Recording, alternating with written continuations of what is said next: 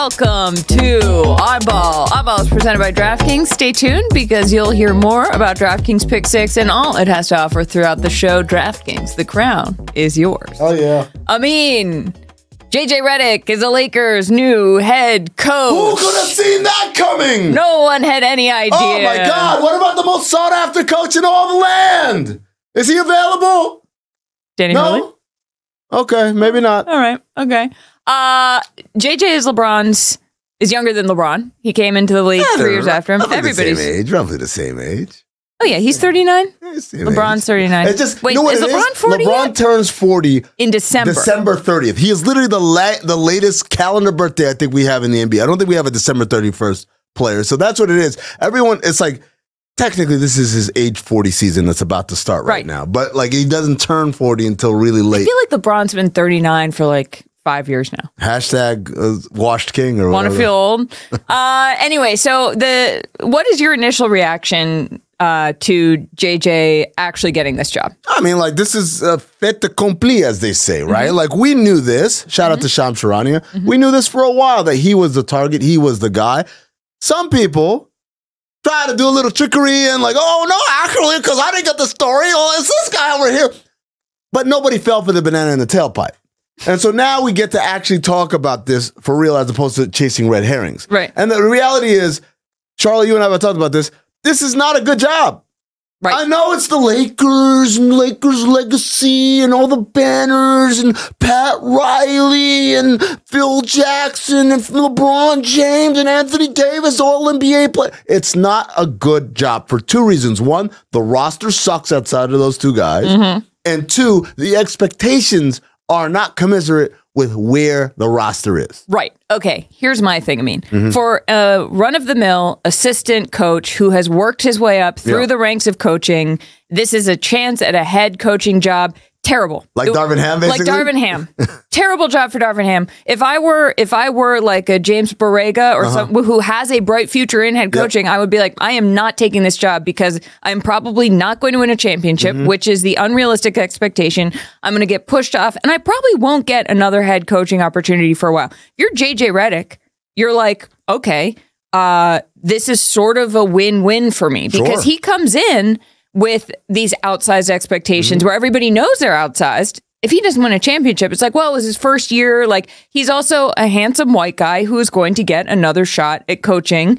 And I think of all the people who could do this, he's going to be good at it. Like, I, I don't think he's going to get walked all over the way other new coaches might in a situation with LeBron because LeBron's like, cool, Right, I so- want you to be my coach. So there is. So I want to be clear about something because a lot of people are going to write and talk about how LeBron picked the coach. LeBron didn't pick the coach. The Lakers picked the coach that they thought had the best relationship with LeBron, mm-hmm. which is actually kind of smart when you think about it. It's like Right. if we know this guy is super particular, super picky, right?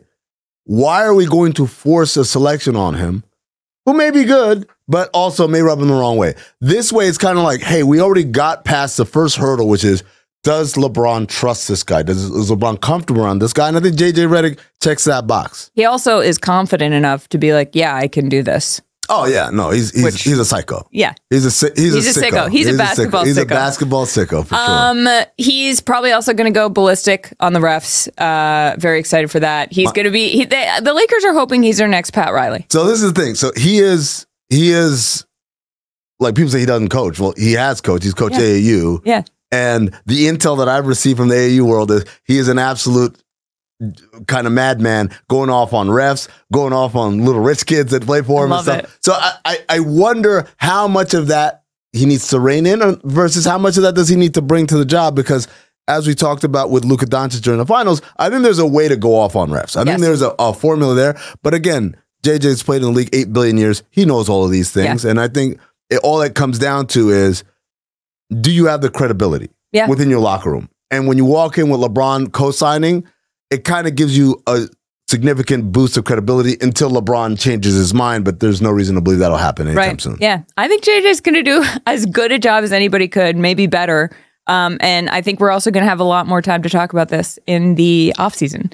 Uh, we do have to talk about how Oklahoma City traded away Josh Giddey to the Bulls for Alex Caruso. No picks involved, swap one for one. Uh, that surprised me a little bit. That Mm-hmm. I was like, Alex Caruso is such an unbelievable defender that at this point, I, the only guy who had better numbers than he did uh, was Lu Dort, who's already on the Right, Thunder. right. So.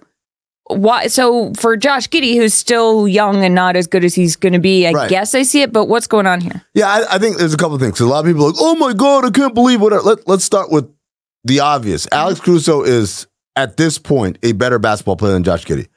Josh Giddey is scratching the surface of how good of a basketball player he can be. All right, so Yep. that's number one.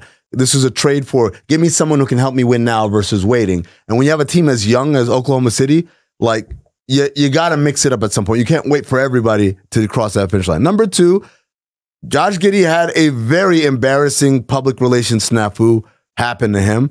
Regardless of whether he was found innocent or the, the charges dismissed, that stain is still there. And Oklahoma City is a very conservative market and it's a mm-hmm. conservative team. They don't want to have to deal with that stuff. So that's out the way. Number three, and I think this is the one that's a lot of people are missing, Yep. is this is a Sam Presti formula. He never lets guys get to free agency. He did it one time and it was Kevin Durant, and we all know how that worked out. Right. But other than that, before Durant and since Durant, if there's a guy coming up on free agency, you're either going to sign an extension or you're out of here. Yeah. And this is Presti basically taking the initiative of saying, look, I don't want to A, get into how much this guy is worth at this point. Mm-hmm. B, knowing I have a bunch of other deals coming up that I'm going to have to do. The cost certainty of knowing what Caruso's making makes it so that like Yeah. I'd rather have that right now. Yeah. And then from the Chicago side, I get it. Giddey had like a really rough season, and and make no mistake, that affected him. Mhm. It- like people say, oh, they tune it out in the basketball court is my my solace, and no, no, no.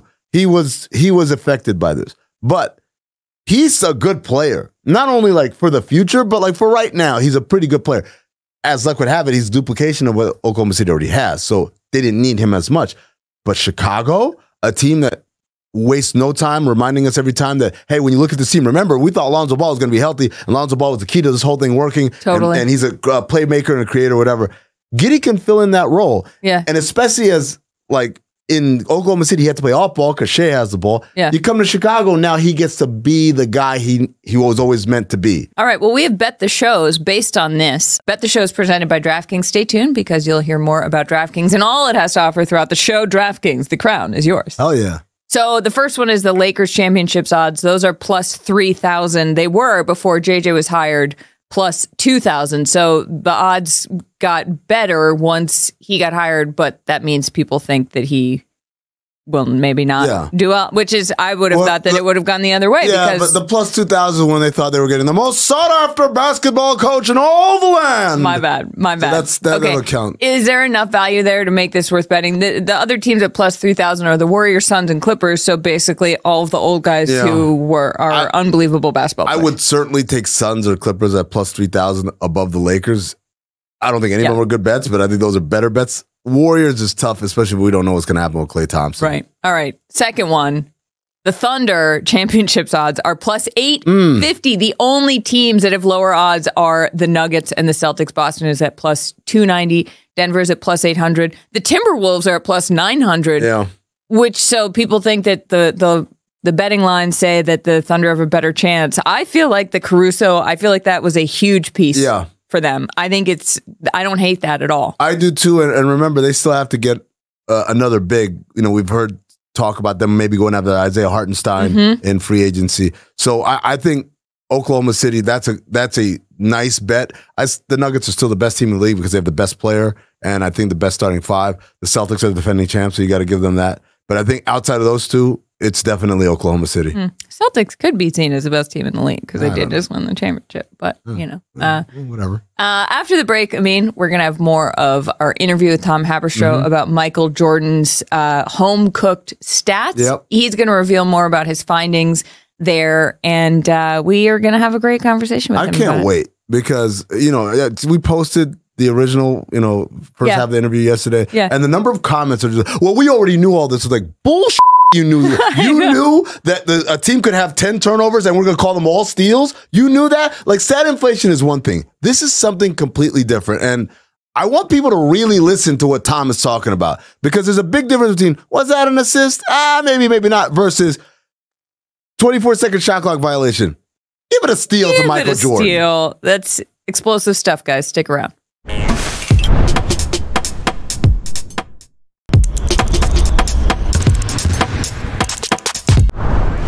Welcome back. Yesterday, we aired the first two parts of our interview with Tom Haberstroh about the stat keeping during Michael Jordan's 1988 Defensive Player of the Year award. Uh, fascinating stuff. And here is the final part of our interview. Tom, you wrote this incredible piece about Michael Jordan's 87 88 Defensive Player of the Year campaign about how the stats seem to have been manipulated or, or not manipulated, I should say, oh, inflated, inflated at the time of their recording. Um, I'm curious, did you talk to any of the contemporary media people of the day and what they had to say about it? Yeah, uh, I actually got uh, on the phone with Bob Ryan, legendary uh, Boston Globe writer, who was a voter in the 88 season, not just on MVP, but also Defensive Player of the Year award, and asked him, you know, have been watching this film, looked at the stats, and it seems like there is some home cook stats uh, for Michael Jordan in Chicago that like 30%, up to 30% of his steals were uh, not apparent, uh, could be phantom steals given to Michael Jordan erroneously. And I asked him his thoughts on that because he had given Larry Bird the MVP that year. Michael won it, of course, 88, both scoring title and Defensive Player of the Year award. He was the MVP running away. Um, Bob Ryan was like, doesn't surprise me at all. And Bob Really? was like, you know, doesn't you have to surprise him remember- at all. he's like, you have to remember, Bill Russell and Wilt Chamberlain, there were accusations back and forth about their their rebounding totals that they were home cook stats.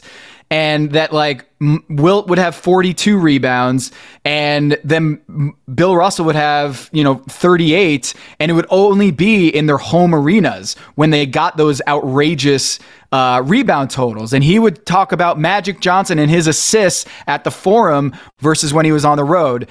And what he was laughing about was the idea that Michael Jordan was so obsessed about becoming the Defensive Player of the Year award winner in 88. Because remember, guys, he was left off the all defensive first team the year before when he had a record breaking number of blocks and steals. And so Michael Jordan came out in Sports Illustrated in an, in an article, came out and said, I hate the way that defensive awards are being recognized only on reputation, not about steals, not about blocks, not about the stats. And he had felt that it was all based on reputation rather than statistics. And he went out and had the greatest statistical defensive season ever. His averages in steals and blocks is still combined, has not been duplicated since 1988. And Bob was like, no one cared about Defensive Player of the Year. It was a nothing award. So for Michael to be so angry that Michael Cooper the year before won it without any defensive stats, and he became so angry that he went out and and made it possible, like he just got a kick out of the fact that it was Michael Jordan. And he was saying It's the most he's Michael Jordan story ever. obsessed. He's the greatest, most uh, and I took it personally meme. That is Michael Jordan. To his core, he is wired to take umbrage on the littlest thing and turn it into this molehill into a mountain. And so Bob Ryan just got a kick out of that. So, Tom, two things stand out to me about the story. One, the fact that Bob Ryan said nobody cared about Defensive Player of the Year, and this has now become something that sports media people hang their hat on as the sole reason a lot of the time that MJ is better than LeBron, because that's what all of this sort of boils down to. Secondly, the fact that it was it was sort of vibes based. Like if stats could be home cooked, and if everybody thought that, then like do we now put like an outsize you know importance on stats because we believe them like is that what's going it, there there's so much here i can't even Yeah. I would say if you're using the 88 Defensive Player of the Year award as a reason that LeBron isn't as good as Michael, it's it I would throw that out. I would throw out the 88 depoy as a reason or as a chip in the scale of Michael and LeBron because look, Michael was a great great defender. a good defender most seasons, great one at times. Was he the best in 1988? Well, put it this way. He was 71 more steals at home than at home than on the road that season. If you look at just how many steals he had on the road, he was fourth in the NBA, tied for fourth in the NBA with Michael Adams of the Denver Nuggets, okay, who's not known as a good defender, but he had the same number of road steals as Michael Jordan in that record breaking season. I think if Michael Jordan didn't have the stat keeper in position, this might be a totally different story about Michael Jordan's defensive acumen. Um, and I do think that that year, I, I don't think you can use that as the tiebreaker for the LeBron and Michael Jordan debate. I, I just don't think we can use it because it's not an accurate portrayal. Uh, his blocks and steals that year was not an accurate portrayal of his actual statistics and contributions that season. Tom, one of the other things I thought was very curious in your article uh, or, or uh, interesting is that Alex Rucker, the former uh, VP of basketball ops at the Sixers, the former statistician for the Vancouver Grizzlies, who kind of revealed to you about all the stat inflation. That he said he learned a lot of it from like a, a retreat or some sort of kind of like thing where there were all these other guys from other arenas, uh, and they were watching film and it was, I believe it was a Stockton and Malone. And he said there was no causal causal uh, relationship between the pass and the made basket. But everyone was like, "Oh yeah, it's definitely an assist." Yeah, yeah. So like this, uh, this was told to me for Pablo Torre finds out. Uh, I talked to Alex Rucker, who was like, "Yep, there was this Detroit." Like convention uh, summit among stat keepers, and he was 19 years old. Which, by the way, you should probably have to be able to, you know, drink alcohol yeah. uh, in order to be allowed to be the official stat keeper for an, an NBA team. Um, so in, in 1995 or whatever, he's 19 years old. He's in this room as he, he tells this story uh, with all these, no pun intended, grizzled sc- scorekeepers, right? And he realizes the implication of saying, yeah, that's an assist because it's John Stockton. The implication was to him was this is an entertainment business, right? Is that like benefit of the doubt, you give it to the star player. Um, and so when I, I heard that from Alex, it immediately made me think of, well, what is the award that could be most influenced or most disproportionately affected by home cook stats. And that's what brought me to the Defensive Player of the Year awards because if blocks and steals are as subjective to those stat keepers as he's alleging, then some of the depoy years from early in the NBA, we have to reevaluate. And mm. it's not to say that the winners weren't good. It's just, were they the best? Well, if they have huge home road disparities, we kind of have to go back to the drawing board and see whether we were letting the stats dictate who we think is good or not. Because Michael Jordan in 88, if you eliminate that bias, he's just another good defender. He's not far and away the best defender just by using blocks and steals. Did you did you reach out to to MJ himself, Tom? Or the Bulls or the league or any of these people? Yeah, reached out to uh, Michael Jordan's uh, team, didn't hear back. Um, I reached out to Bob Rosenberg, the stat keeper, during uh, this time, didn't hear back. Um, the NBA declined to comment on the story. And what's interesting to me is like the, the NBA is in a tough position here because mm-hmm. are are you going to go back and watch every single game and rechart them and rescore them? I don't know because like it, you can't just do it for Michael Jordan's games. You kind of have to do it for all the games, and that's such a huge undertaking to verify sort of the bedrock statistics. But I'll point out that like of the 26 times that Wilt Chamberlain and Bill Russell had 40 plus rebounds in a game, all of them were on their respective home floors. Hmm. 26 out of the huh. 26. So the NBA like in order to like correct this mistake, it's not just about Michael Jordan, it's about the entire league we'd have to verify. What's so fascinating to me about this, guys, is that for a long time in human history until recently, you couldn't really verify stuff. And and what people gravitate towards is the best story. And myths are built on inflated stats of any any kind, any sector, sports, politics, religion, like any of it is based on you know the greatest narrative. And it's almost like you you would have to do this for all of human history. Because you didn't used to be able to like take a picture of something and be like see i was Yeah. wearing a green shirt. It's like it, it, it it it the way that we remember things has fundamentally changed Yeah, the 10 steal game, the NBA posted a video of 10 steals in a single game, Michael Jordan, and then there's only six in the clip. You start to reevaluate everything, right? You're like, wait a minute, was it all a lie? And the answer is if you are listening to this and you're sitting on some VHS tapes in the attic or in the basement of Michael Jordan's 1988 season, I want to I want to talk to you uh, because I feel like it's not just a story about some uh, potentially fudged statistics. This is also a story of technology and the fact that like now, if Jaren Jackson Jr. is caught, you know, with home cooked stats at home allegedly, we can verify that in like 30 seconds. We watch all the We did- clips in a matter of. We did this we, last. we did year, that for I mean. basketball Illuminati, right? Like this was a big deal. Like someone m- noticed these home road disparities, and Tom and I got on the synergy machine and and literally reviewed every single steal and block that Jaren Jackson had, and we found it's actually kind of accurate. Like this, if anything, Tom, I, I, believe our finding was they undersold him. There were a couple of times where like you could have given him a block on that or a steal on that, and he didn't get uh, didn't get that the benefit of doubt. But uh, you know, for me, it, it it just levels the playing field of the conversation. Oftentimes in our sport, I feel like more than any other sport, coming to. Oh, back in our day, it was like this. Da, da. I, I tell the story all the time of Zach Harper and I doing live NBA radio during the summertime. We both had NBA TV on. They're playing a classic game. We're playing. They're playing Knicks versus Pacers. Reggie Miller scores 25 points in the fourth quarter. And this is again mythology. Like, oh my God, Reggie was so clutch and so amazing. He scored 25 points in the fourth quarter. I remember that game. I was a Knicks fan. I grew up watching that game.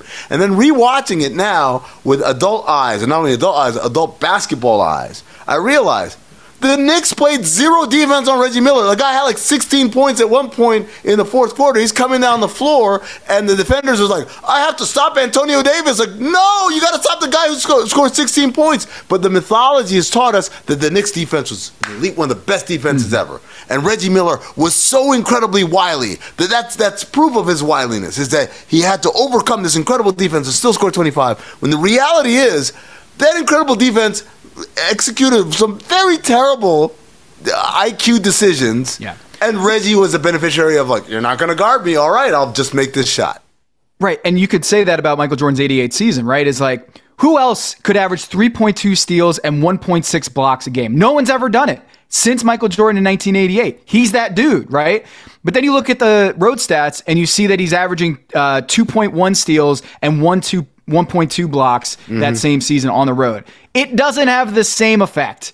3.2 versus 2.1, 1.6 versus 1.2. So it's the same thing. And I'll go back to this quote from Bob Ryan when I talked to him. Bob Ryan had a, a it is kind of eerie that he said this. Um, in the story, when I asked him about that depoy season, he writes uh, in the Boston Globe, in explaining his votes for MVP, he goes, So, okay, who did have the best year? The truth is, nobody knows for sure. Nobody can claim to have sat down and watched 82 Celtics videotapes and 82 Chicago videotapes. End scene. He wrote that in said it right 1988? there. In 1988, in the D- the Depoy and MVP conversation, he said, "Who can know? No one's actually sat down and watched all 82 from the Celtics and all 82 from the Bulls, and that is why he's a Hall of Famer." Unbelievable. Uh, Tom, thank you so much. It, it's been an absolute pleasure talking to you about this. And maybe it's more fun when like you don't count accurately. Maybe maybe we should go back to myths. I don't know. Yeah, Michael Jordan was actually five and one in the NBA Finals, not six and. eight. Ah. well, we'll see. Thanks again to Tom Haberstroh for joining us. Remember, you can catch all of his work on Yahoo Sports and on his Substack, The Finder. And of course, he's a TV analyst for the Portland Trail Blazers. Wow. That was I can't get enough of that. I- I'm thinking about like myth memory, how he it's like it's a huge thing. It's monumental, Yeah. and it should be the biggest talking point for the entire summer for everybody who loves basketball. But for us who love basketball, it's weekend time. Woo! I confirmed it this time. Happy Friday.